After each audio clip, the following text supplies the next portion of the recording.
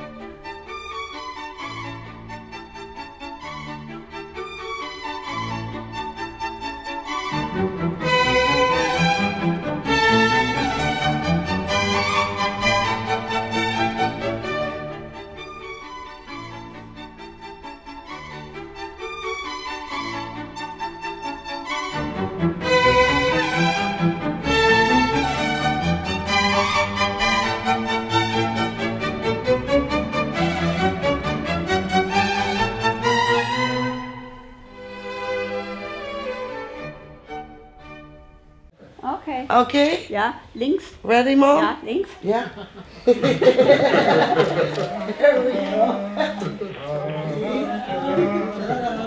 Here we are. Okay. Thank you. Okay. Okay. You're too far.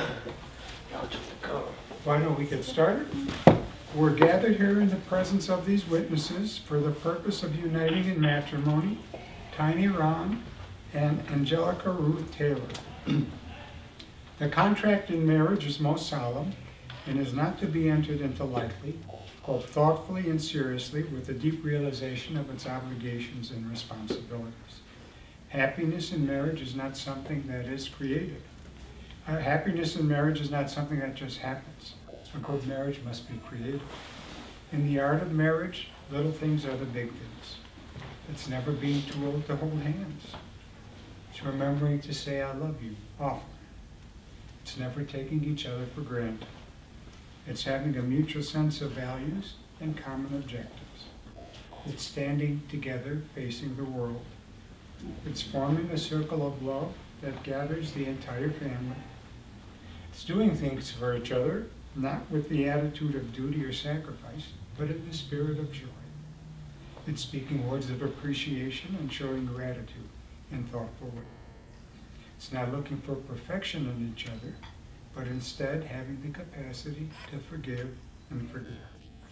It's cultivating flexibility, patience, understanding, and a sense of humor. It's giving each other space to grow. It's a common search for the good and the beautiful. It's establishing a relationship in which independence is equal and dependence and obligation are mutual. It's not only marrying the right partner, it's being the right partner. Do you, Tiny, take Angelika to be your lawfully wedded spouse? I do. And do you, Angelika, take Tiny to be your lawfully wedded spouse? I do again. Do you, do you each promise to love and comfort one another in sickness and in health, in prosperity and adversity from this day forward, so long as you both shall live? I do. Yes. Now, will you, uh, you'll be exchanging stones?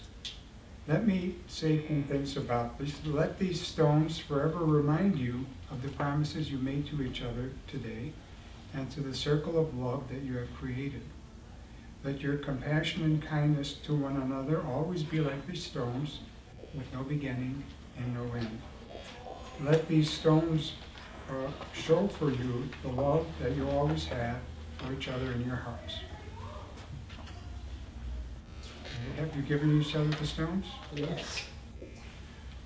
By virtue of the authority vested in me as Deputy Commissioner of Civil Marriages, I now pronounce you married under the laws of the state of California.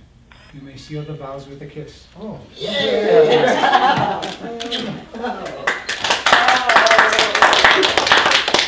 I know, it. It sounds like I was preaching to the choir, doesn't it? We were married in 1973. Oh, so, so Seventy-two. 72. you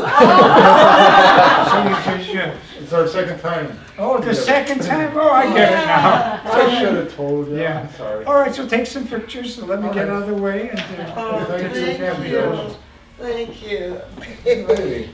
Edna, How was it? Excellent.